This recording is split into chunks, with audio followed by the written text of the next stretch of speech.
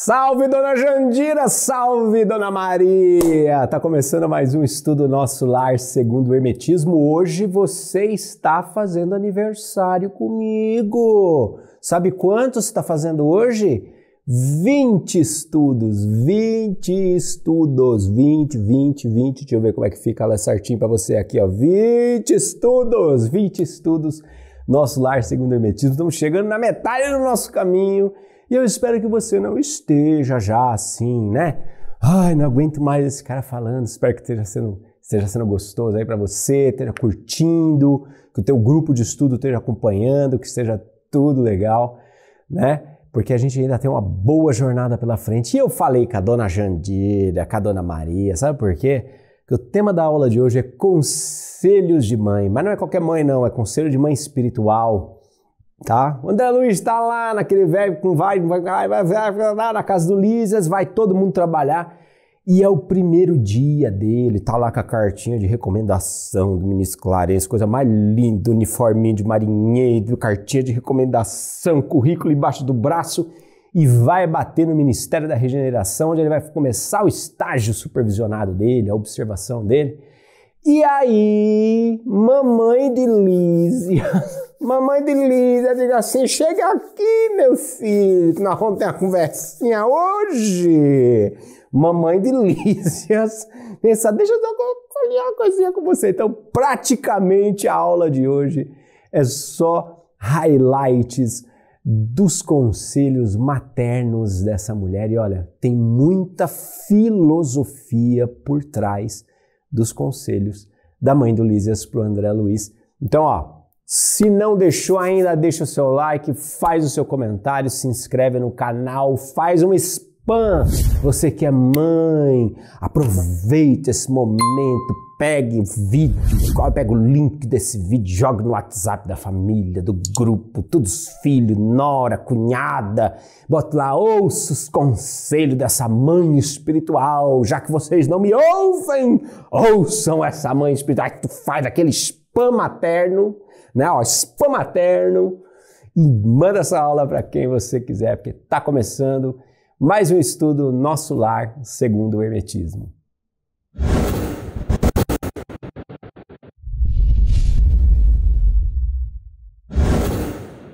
Muito bem, vamos pegar aqui uns highlights de qual foi o papo, qual foi a puxadinha de canto ali, ela chama ele no cantinho antes de mandar, fala, meu filho, vem cá que eu tô sabendo que a tua mãe tá em esfera superior. ela fala assim, olha, eu tô sabendo que a tua mãe mora numa esfera superior, então eu não vou me fazer de rogada para fazer o papel de sua mãe aqui. Foi basicamente dizer: tua mãe viajou, quem vai te dar a cintada sou eu, né? Vem cá que eu vou cuidar de você. Vem comigo ó, no texto em tela. Ela já retoma, porque está sabendo de toda a capivara dele, e ela fala assim: Clarence ofereceu-lhe ingresso num dos ministérios, começando pela regeneração. Pois bem, não se limite a observar. Em vez de albergar a curiosidade, medite no trabalho e atire-se a ele na primeira ocasião que se ofereça. Apenas aprenda a construir o seu. Ah, não, peraí, vamos voltar aqui. Medite no trabalho e atire-se nele na primeira ocasião que se ofereça. Eu achei bem interessante isso aqui, porque a mãe do Lísias mostra que ela é uma empirista, né? Ela está muito alinhada ao conhecimento empírico.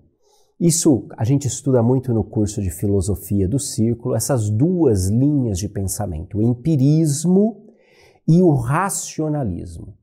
Os racionalistas entendem, não é? São pessoas de mais, mais né, observação estratégica, análise, analítica, então, eles são pessoas que, através da razão, do raciocínio, eles vão chegando às verdades, eles vão chegando aos conhecimentos. São racionalistas. E eles entendem que o raciocínio, a razão, é o único caminho seguro para você alcançar um conhecimento. Os empiristas, né, aquilo que é empírico, aquilo que é experiencial, por outro lado, eles defendem que todo conhecimento começa na experiência. Você precisa viver, você precisa sentir, né? Você precisa vivenciar aquilo para aprender alguma coisa. E claro que na história da filosofia vai haver uma discussão entre eles, né? Se você pegar um René Descartes, por exemplo, que era mais para a linha do racionalismo, ele vai dizer: penso, logo existo. Penso, logo existo. Ou seja, eu concebo essa ideia dentro de mim, que porque eu penso o que penso, porque eu sou capaz de pensar, e de pensar sobre aquilo que eu penso, eu existo, eu tenho uma existência. A minha consciência tem uma manifestação. Por outro lado, você vai pegar um Francis Bacon, por exemplo, já são totalmente empiristas. Então, só a experiência garante conhecimento da verdade, só a experiência. Você precisa viver, você precisa meter a cara, aprender fazendo, aprender fazendo. Por isso que eu acho que a mãe do Lísias, aqui, a avó do Lísias no caso, ela é muito, muito empirista, né? Porque o André vem dessa postura curiosa, tudo ele quer saber, tudo ele analisa, tudo ele pensa, é meio aquele medicão das antigas, né? Olha, chega, né, todo trabalhado naquele jaleco branco, parece um deus que desliza no skate, assim, na cena. E ele acaba elocubrando muito e se perdendo nos raciocínios dele. Não fosse por isso, não tinha passado oito anos no umbral, né, querido? É pensamentozinho desorganizado da peste. Mas ela fala para ele, cara, tá bom, você tem licença para observar, né? Você tem licença para observar, mas assim, na primeira oportunidade que você tiver de trabalho, mete a cara. Por quê? Porque ele está numa fase de aprendizado.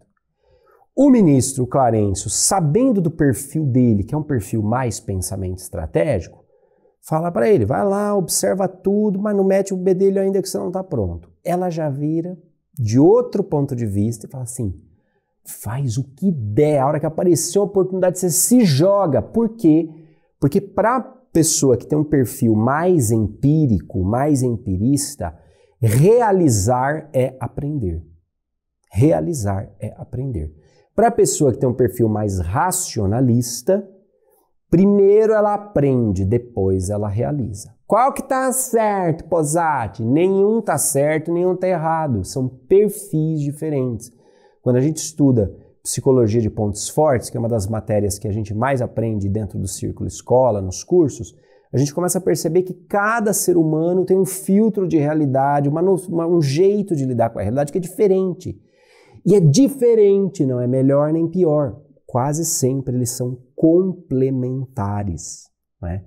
Uma das grandes premissas do trabalho de Donald Clifton com a psicologia de pontos fortes é as pessoas precisam umas das outras e as diferenças são uma vantagem. Então, neste caso aqui, ela está oferecendo um outro olhar de aprendizado para o André, que é o olhar mão na massa. Entre racionalista e empirista, a gente pode fazer uma uma análise assim muito tranquila. Sujeito compra um novo, uma nova televisão, né? Aí você tem dois tipos de sujeito comprar a mesma televisão. Você tem o sujeito tipo número um, vai sentar, abrir a caixa da televisão, procura, pega lá o, manual de instruções da televisão, senta numa cadeirinha e começa. lê o manual inteiro. Daí depois ele vai ver como é que ele abre o saco, como é que ele tira, porque ele já aprendeu no manual como é que tira o isopor, o que é que tem, qual que é o tamanho do parafuso. Ele já conferiu, ou seja, é uma pessoa mais racionalista.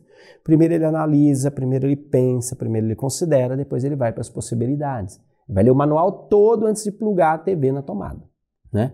Aí você vai ter o empirista que é um outro perfil um pouco diferente, que não lê nada do manual, liga a televisão, vai na raça e o que não acha ainda fala: essa marca não é intuitiva. e aprende fazendo, aprende botando a cara. Veja, isso é um aprendizado da psicologia de pontos fortes, da psicologia de talentos naturais. Ambos terminam a noite com a televisão ligada, sintonizada e funcionando. Cada um deles adotou o caminho que está mais em harmonia com o seu talento natural. Então, o sujeito tem lá um talento mais analítico, ele vai e vai analisar primeiro tudo antes de tomar uma decisão. O sujeito que é mais realizador, ele vai fazer tudo e o que ele não souber, ele consulta o manual. Mas ambos chegam no mesmo lugar ao mesmo tempo, tá? Como é que começa a treta na nossa sociedade? A treta da nossa sociedade começa quando eu entendo que o meu jeito é o certo e o seu é o errado. E aí, por exemplo, eu estou trabalhando com você, você é mais analítico, mais prudente, você é mais racionalista e eu sou mais impulsivo, mais empirista. Aí eu vou achar que você é lerdo e você vai achar que eu sou um fogo no faniquito, um peido aflito, que não pensa antes de fazer, que sai metendo a cara, nós vamos brigar e aí vai haver o confronto, porque cada um de nós parte de uma configuração psíquica diferente. A configuração psíquica dos talentos naturais é como a configuração do nosso DNA. Eu nasci com o cabelo enrolado, você provavelmente pode ter nascido com cabelo loiro, né? Eu tenho miopia, você talvez tenha olho azul. Tudo configuração do nosso DNA. Se o DNA configura aqui a estrutura física do nosso corpo, a psicologia de pontos fortes descobre o DNA de talentos, ou seja, a configuração da nossa estrutura psíquica. E é assim que nós nos manifestamos. Eu estou certo ou estou errado por ter cabelo enrolado? Nenhum nem outro. Eu tenho cabelo enrolado, ponto. É assim que eu sou. Aceita que dói menos. Você está certo ou você está errado por ser mais racionalista, mais prudente? Nem certo nem errado. É quem você é. Aceita isso, né?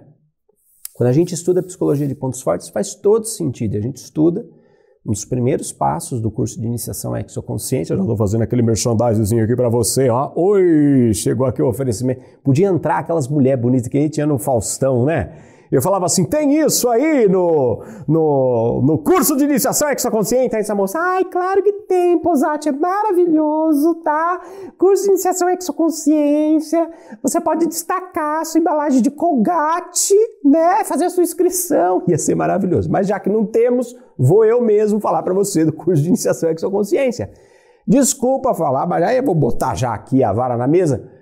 É a experiência de autoconhecimento, de autonomia espiritual, de filosofia mais completa que está disponível em língua portuguesa. Vai por mim. Estou há sete anos trabalhando nesse curso e há sete anos que eu vejo pessoas sendo transformadas todos os anos. Milhares de pessoas já passaram pelo Exo, milhares de pessoas já entenderam essa filosofia, já entenderam passaram por essa jornada de autoconhecimento e ó, chegaram lá, então fica aí a dica para você, porque nós vamos estudar psicologia de pontos fortes lá. Nós vamos estudar, nós vamos dar caminhos para você descobrir seu DNA de talentos, para você integrar, para você descobrir como é que isso funciona. Isso é fundamental. Fundamental. Legal? Vamos voltar aos conselhos maternos agora da nossa dona Florinda. Aprenda a construir o seu círculo de simpatias e não ouvide que o espírito de investigação deve manifestar-se após o espírito de serviço. Olha que interessante, hein? Ou seja, não sei como falar isso de uma maneira elegante, cara. Que eu ia se eu fosse, se eu tivesse num bar com você, eu diria assim: para de punheta de ficar com pipipi, com essa sua pranchetinha, com essa sua síndrome de médico, arregaça a manga e faz o que tem que fazer, seu animal. Mas eu não vou falar isso aqui na aula porque, obviamente, vai ficar deselegante. Mas no fundo, o que ela está dizendo para ele é: meu querido, para de ficar fazendo objetificações científicas, como se você tivesse num laboratório onde você é o cientista e todo o resto é cobaia. Arregaça a manga e faz, porque primeiro vem o serviço, depois o aprendizado. Aqui ela ancora de novo que ela é uma empirista. Primeiro faz, depois pensa, depois você vai aprender. Vai pensando no que está fazendo, né? mas vai fazendo primeiro, vai servindo, vai com o espírito de servir. E é interessante que ela fala assim, ó, aprenda a construir o seu círculo de simpatias, né? Quando a gente estuda psicologia de pontos fortes, a gente faz isso no Jornada, no curso de iniciação exoconsciência, que está matriculando agora, a gente descobre quatro grandes domínios que agrupam muitos outros talentos, não para nesses domínios, mas é o domínio de execução, pensamento estratégico, influência e relacionamento. Então tem pessoas que são naturalmente boas em botar a mão na massa e fazer, que parece ser o caso da avó do Lises. Tem pessoas que são muito boas em influenciar, tocar fogo, mover as pessoas né, para que algo aconteça. Tem pessoas que são muito boas em pensamento estratégico, no sentido de que criam, produzem, quando tem muito tempo para pensar, quando elas têm espaço para pensamento. E tem pessoas que são muito boas na construção de relacionamentos, muito melhores do que outros, porque é natural nelas, é espontâneo nelas. E aqui é interessante, porque no primeiro, ela já detectou que o André é mais do perfil pensamento estratégico. Ele gosta de analisar, ele gosta de estudar, ele gosta de ver, ele gosta de aprender, tudo ele observa, tudo ele acha lindo, tudo ele vai ressignificando as ideias na mente dele. Muito pensamento estratégico. A cabecinha dele não para. Quem tem tema de pensamento estratégico, quem tem configurações de talentos de pensamento estratégico, são pessoas que a cabecinha não para. Tem sempre uma conversa acontecendo. Né? Eu, a minha cunhada tira sarro do meu irmão, que às vezes ela, ela tá com ele no carro e ele está dirigindo e ele está dirigindo assim. E ela dá uns tapas nele, para, Vitor, você tá falando sozinho. Ele fala assim, deixa eu aqui, nós não estamos falando com você. Ele fala para ela, me deixa aqui, você não está participando da conversa, porque tem uma conversa rolando na cabeça dele, né? A Juliana às vezes me, me cutuca, porque eu também falo, falar sozinho, entre aspas, né? Mas é, às vezes, eu, eu faço tantas vezes o diálogo na minha mente e na prática eu esqueço de conversar com ela. Então o que acontece? A gente às vezes começa a brigar. Eu falo assim, mas eu falei isso para você. Ela falou, você falou dentro da sua cabeça para mim. Eu estou aqui do lado de fora da sua cabeça. Você tem que falar comigo, você tem que pôr em palavras. né? Então é aquela coisa, né? Que às vezes está muito quieta, assim, e aí, o que, é que você está pensando dentro dessa sua cabecinha? Ela fala para mim, o que está passando dentro da sua cabecinha? Eu falo assim, o que está passando dentro da minha cabecinha é meu. e eu vou falar para você quando eu achar que eu devo falar. Agora é meu, né? Porque ah, pelo menos o que está dentro da minha cabeça é meu, né? E daí é curioso, porque são perfis diferentes, né? Ela saca que o André é mais pensamento estratégico, mais dentro dele, cabecinha rolando.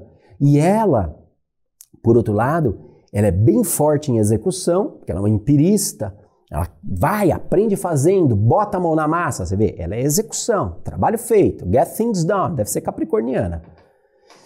E também, agora traz o terceiro domínio, pensamento estratégico, execução, terceiro domínio. Aprenda a construir o seu círculo de simpatias, ou seja, faz amizade, criatura. Deixa de ser o engomadinho nerd da mamãe. Faz amizade. Conversa com as pessoas. Converse com as pessoas. Troque, crie um círculo de simpatias. Por que, que ela está dizendo isso? Porque quando o, o Clarencio dá licença para o André observar para aprender, o Clarencio dá um viés de aprendizado que é o pensamento estratégico. E ela está expandindo o viés de aprendizado dele para relacionamento e para execução. Bota a mão na massa, você também vai aprender. Cria um círculo de amizades, porque você também vai aprender. No fundo, o que ela está fazendo? Trazendo complementaridade à licença, que o expandindo a compreensão dele, na verdade. Né? Não é que ela está complementando a licença do Clarence. Clarence falou: observe e aprenda. Só que o aprenda ficou ali com margens de interpretação e ela está trazendo outras perspectivas de aprendizado. Por exemplo, quando a gente faz o curso de iniciação à exoconsciência, que é essa experiência que leva um ano aqui dentro do círculo, tem lá o momento pensamento estratégico. Você vai ter sua aula em vídeo, você vai assistir, tem o material, você vai estar tá lá. Tudo isso está acontecendo, ó, só no pensamento estratégico. Mas tem um encontro mensal de mentoria. Por quê? Porque relacionamento também é canal de aprendizado. Tem o momento mão na massa, Instituto Círculo, projeto, vamos fazer projeto junto, vamos pôr a mão na massa, vamos ajudar quem precisa, vamos mover a transformação. Por quê? Fazer também é realizar, também é aprender. A gente move com a cocriação, a ideia de cocriação exoconsciente, quer dizer, por que eu quero contato com a esfera espiritual, com outras dimensões? Quero contato para ficar brisando? Quer contato com o espírito falar, ai, como você é lindo, amo você, maravilhosa, todo dia? Que saco esse relacionamento. Não. A gente parte da noção de que essa interação ela tem um objetivo, que é cocriação de realidades. Se o cara que está falando com você é etéreo, é espírito, não tem perna, não tem braço, não tem boca, logo a parte que ele pode colaborar com você é só mental. Quem é que vai ter que pôr a mão na massa e fazer a coisa? Você. Isso é cocriação exoconsciente. Isso é cocriar realidades em parceria, colaborando com esses seres. Mas o fazer, com este fazer vem o aprender, que é toda a história do círculo. Toda a história do círculo. A gente põe a mão na massa e faz. Porque nós estamos aqui. Eles não estão. Uma vez, o general Shoa deu uma, uma, uma clarividência para a gente, foi maravilhosa. Ele mostrou assim um prédio, como se fosse uma, um frame de, de ferro, com vários andares. E aí ele mostrava assim, embaixo da árvore, aqui embaixo, tinha uma equipe de pedreiro que estava comendo sua marmitinha. E lá em cima, no andaime, tinha uma equipe de pedreiro, ó, sentando tijolo. Tijolo por tijolo. Chegava num, num determinado momento, essa equipe que estava sentando tijolo descia, passava na catraca, ia para baixo da árvore, começou a marmita. A equipe que estava embaixo da árvore passava pela catraca, subia e continuava. Qual era o símbolo dessa analogia? O prédio é a construção da nova terra. É o palco aqui da vida física, a fisicalidade do nosso planeta. As equipes que estavam lá em cima sentando o tijolo com a mão na massa, somos nós. A equipe que estava comendo marmita embaixo da árvore, são eles. A catraca é o ciclo encarnatório. Quando a gente passa pela catraca do ciclo encarnatório e vai para o mundo espiritual, a turma que está no mundo espiritual vai. Quer que o pessoal que está no mundo espiritual, lá embaixo da árvore, pode fazer por quem está levantando a, a, a, parede de tijolo? É orientar. Essa parede está ficando torta! Bota um pouco mais para lá isso! Tá subindo o tijolo! O que é que o pessoal lá em cima faz? Com muita dificuldade tenta ouvir, né? Ele falou o quê? Melancolia profunda ou melancia na bunda? Não sei. Né? é isso. Tem essa distância, tem essa coisa, né? Tem umas interferências. Mas chega um determinado momento de troca de lugar. E foi muito bonito esse dia, nessa reunião mediúnica, porque ele deu essa imagem para responder a pergunta que eu fiz. Eu falei assim: por que, que vocês escolheram a gente para montar uma escola filosófica exoconsciente? Meu, vocês não tinham gente melhor para escolher, não? E aí eles falaram assim: Nós escolhemos vocês porque fomos por vocês outrora escolhidos. Olha que lindo isso. Nós escolhemos vocês porque fomos outrora por vocês escolhidos. Ó a catraca. É um revezamento, né? É um revezamento. Eu achei muito Teve uma outra situação, uma outra comunicação, para não ficar dando muito bafo espiritual aqui, mas é só para compartilhar exemplos disso que ela está falando aqui, né? Dessa construção de relacionamento, desse movimento.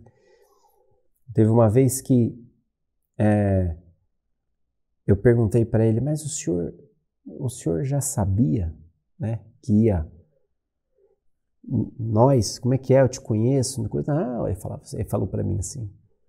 Você era um dos espíritos que se materializavam na reunião lá de casa. Assim.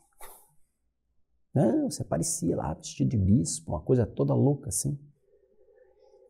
E eu não acreditei muito naquilo até que fui para uma reunião de efeitos físicos e a, a mesa girava assim, ele escreveu exatamente, confirmando. Falei, ah, me ajudou pouquinho a acreditar naquilo.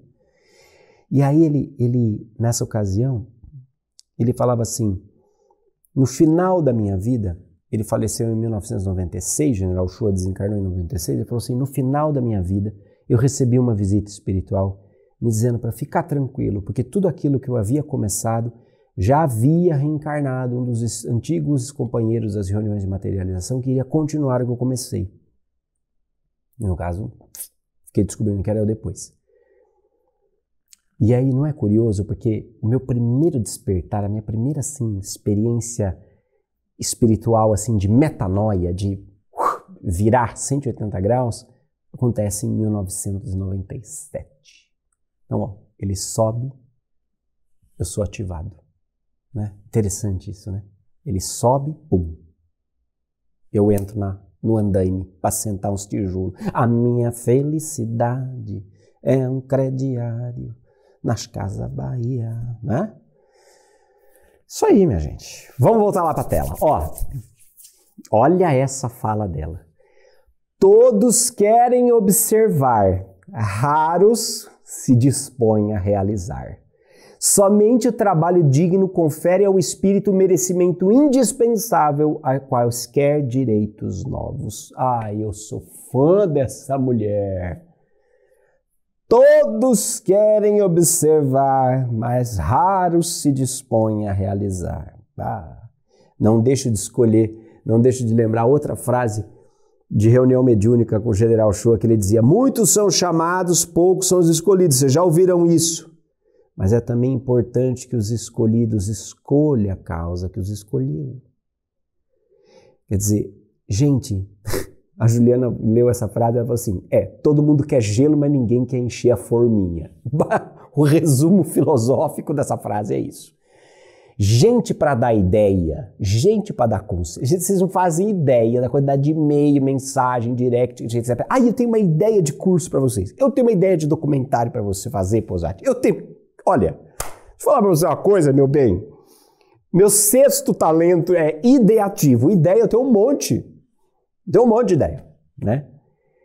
Impressionante, a gente sempre tem uma ideia para dar. Uma ideia para dar. A gente nem se preocupa se o outro pediu a ideia, se o outro está precisando da ideia, mas a gente tem uma ideia para dar.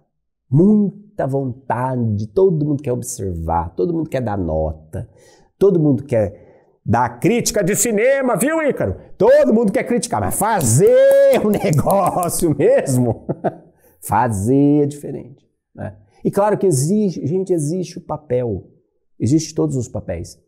Mas o ponto aqui que ela está dizendo, ó, somente o trabalho digno confere ao espírito merecimento indispensável a quaisquer direitos novos, tem muito a ver com isso. É a mesma coisa que, cara, isso é uma questão de coerência. Isso é uma questão de coerência. Somente o trabalho digno confere isso. O que, que quer dizer isso? Imagina você.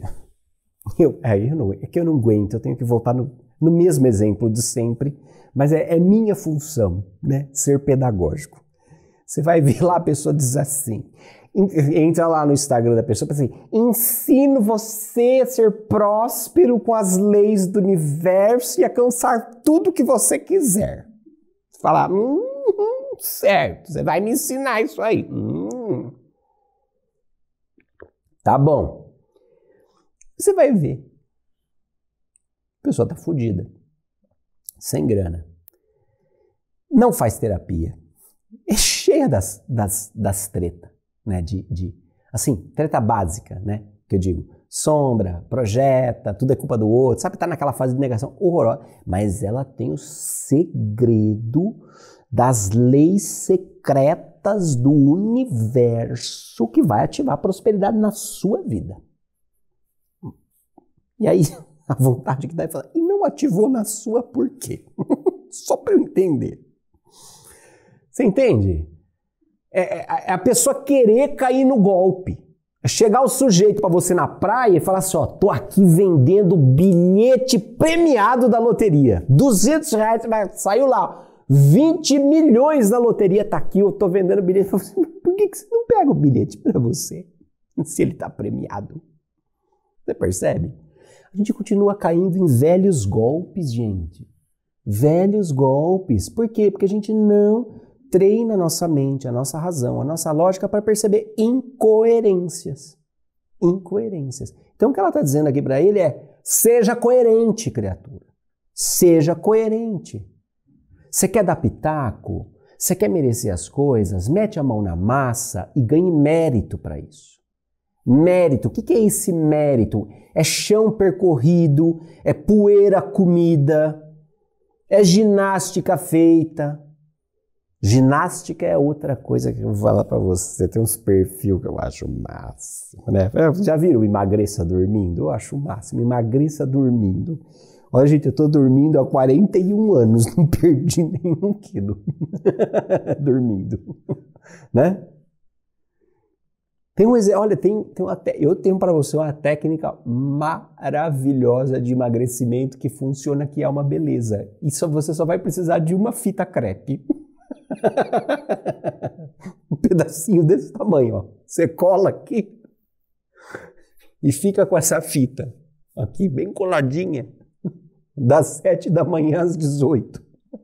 E às 18 você não pode comer nenhuma farinha branca processada, você não pode comer nada de açúcar e nada de lactose. Você vai ver que beleza que vai ser. Prometo para você que vai dar certo, né? Sem mérito não tem, gente, não tem. E ao mesmo tempo eu acho interessante como a sociedade, a nossa sociedade denigre as pessoas que têm know-how, né? Que têm know-how, que construíram esse know-how. Nossa, o sujeito está cobrando caro, né, para dar essa consultoria, cobra caro para dar essa mentoria. Por que que é caro? E o tanto que ele camelou para chegar ali? E o tanto que ele estudou para chegar? Nossa, o sujeito cobra uma fortuna para fazer uma palestra. E o tanto que ele camelou para chegar lá? E o quanto que ele pagou de estudo do bolso dele, de experiência prática na vida dele? E o tanto que ele pagou para chegar lá? Isso aí não tem preço. Não tem preço para você que é vagabundo e só quer observar, mas não se dispõe a realizar. Ele se dispôs a realizar, deu com a cara na parede, quebrou várias vezes, levantou várias vezes e hoje tem o que dizer. Tem o que dizer, não é influencer de YouTube que lança biografia com 17 anos. Querido, com, com 16 anos, o que é que você pode me contar de interessante da sua vida? O dia que você brigou no parquinho? O dia que você descobriu que sorvete sem lactose te dava caganeira? Você percebe? A gente não. Nós estamos numa sociedade cuja cultura é depreciar as pessoas mais velhas, as pessoas que já têm mais idade, que já têm mais experiência de vida. Nós estamos numa cultura que deprecia. Ih, já é tiozinho. Ou então, ih, nossa, esse daí cobra um monte. Cara, tá certo, velho. Porque tem o um merecimento indispensável. Tem, trilhou o caminho, bateu a cara. Quando eu preparava projetos para para abertura de pregão, bolsa de valores, etc e tal. A gente trabalhava com uma empresa em Nova York que preparava os projetos para irem para a bolsa, conseguir investidores. E aí circulava né, essa, essa conversa de que os investidores de Wall Street, quando eles vão analisar um projeto, eles também vão analisar quem é que está propondo o projeto, quem está empreendendo o projeto, e eles confiam muito mais quando o sujeito já quebrou pelo menos três vezes. Três vezes. Por quê? Quando o sujeito quebrou três vezes, ele sabe como gerenciar uma crise. Está propondo ainda, levantou de novo. Esse projeto tende a ser. Porque eu não quero saber. É importante saber se o projeto vai dar certo ou não? Vai, mas também é importante saber que se esse cara quebrar, ele vai levantar para me pagar de volta. Lógica. É lógica. Né? Nós não, nós escondemos os nossos fracassos. Né? Pô, eu tive sete sócios, velho. Quebrei uma empresa. Quebrei pela primeira vez, 2003. Depois quase quebrei em 2008. Depois abri e fechei várias vezes. Isso é a vida, isso é know-how. Isso é know-how, tá? Matéria-prima de know-how é treta. Quem não passa por treta não tem know-how nenhum. Quem não passa por treta não tem know-how nenhum. Então, essas filosofias, ai, muito florida, pãozinho, cheiro de glade, perfumes da natureza, desculpa, mas não me convence. Eu gosto de gente de verdade, eu quero ouvir pessoas de verdade, eu quero ouvir professores de verdade, professores que rasgam ali, ó. Rasgam ali e mostram as cicatrizes. Aí nesses eu acredito. Gente com pelinha sedosa, não sei, não sei. Vamos voltar ao texto, para não ficar passar uma imagem amargurada para vocês. Lembro-me que em todas, lembro-lhe que em todas as nossas esferas, desde o planeta até os núcleos mais elevados das zonas superiores, referindo-nos à Terra, o maior trabalhador é o próprio Cristo e que ele não desdenhou o serrote pesado de uma carpintaria. O ministro Clarencio autorizou-o gentilmente a conhecer e visitar e analisar, mas pode, como servidor de bom senso, converter observações em tarefas tarefa útil. Não precisa nem explicar, né? O exemplo está dado, meu bem. O discípulo não é maior do que o mestre. Se o chefão da bagaça toda desceu, pegou no serrote, no martelo e ó, trabalhou pesado, meu bem, né? Para de bancar o, o, o tesouro da mamãe. A ciência de recomeçar é uma das mais nobres que o nosso espírito pode aprender. Olha, faz uma pausa aqui comigo. Todo empreendedor deveria fazer uma camiseta, um quadro, adesivar isso aqui no teto da, do quarto, assim, ó, acordar e ler todo dia. A ciência do recomeçar é das mais nobres que o nosso espírito pode aprender. Porque é isso, gente. É lei do ritmo, é princípio de ritmo hermético. Tudo tem suas marés, tudo tem alto e baixo. A todo momento nós vamos precisar recomeçar. E é muito difícil para uma pessoa orgulhosa, narcisista, vaidosa, pé no saco. É muito difícil para essa pessoa muitas vezes recomeçar porque ela não abre mão de ser quem ela sempre foi, de agir como ela sempre agiu, porque ela é correta. Ela sabe, ela já entendeu. É difícil quebrar, quebrar esse padrão, né? É uma arte de recomeçar. Aí volta aqui comigo para o texto. Ó. São muito raros os que a compreendem nas esferas da crosta. Paulo de Tarso, doutor do Sinédrio, esperança de uma raça pela cultura e pela mocidade, alvo de geral atenção em Jerusalém, que volta um dia ao deserto para recomeçar a experiência humana como tecelão, rústico e pobre. É um exemplo de Paulo, é maravilhoso, é uma metanoia né? é uma conversão. Tinha toda a expectativa, tinha todo o glamour, tinha todo o reconhecimento do sinédrio, que era uma espécie de senado né, dentro do templo, uma, uma mistura de senado com um colegiado cardinalício dentro do templo de Jerusalém. Tinha todo o prestígio, tinha todo um plano de carreira traçado e pum, literalmente cai do cavalo quando vê uma luz que não tinha visto nada igual na sua vida, não é? cai do cavalo. A expansão da consciência, a experiência de novas realidades, de novas compreensões espirituais, abrem para dentro do nosso, da nossa esfera psíquica uma, uma luz, um conhecimento, um saber de si e um saber do todo que nos derruba dos nossos cavalos, né? Caiu do cavalo, estava ali, cavalo tem quatro patas, né? Estava ali ancorado na matéria, ancorado na carreira, com tudo definido. Vem essa luz e cai, derruba, cai de joelho, fica cego. Por que, é que fica cego? Porque percebe que o que via não via. Percebe que nunca teve olhos de ver, nunca teve olhos de ver, percebe que estava cego. Estava cego pela perspectiva, pela expectativa, pelo plano de carreira, pela rota traçada. Estava cego, estava cego. Mas aí vem lá o Ananias impõe a mão sobre ele, pede o Espírito, e aí cai as escamas dos olhos. Ele volta a ver. Ele volta quando ele dobra o orgulho dele diante de um homem humilde, a quem ele perseguia antes. Dobra diante dele. Quebra, dobra, muda, deixa de ser teimoso, abre o olho, aprende a ter olhos para ver. Aí recomeça recomeça e faz tudo diferente. Aí é capaz da transição, percebe? Primeiro vem a transição da consciência, depois a transição de carreira, como nós falamos numa aula passada, não é? Veja, recomeçar,